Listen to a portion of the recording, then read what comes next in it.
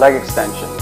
This is where you really bend your knees and straighten them up as high as you can, lift your hips up by using your quads or the front of your thighs. Try to keep the ball below you and try not to push the ball away as you extend up.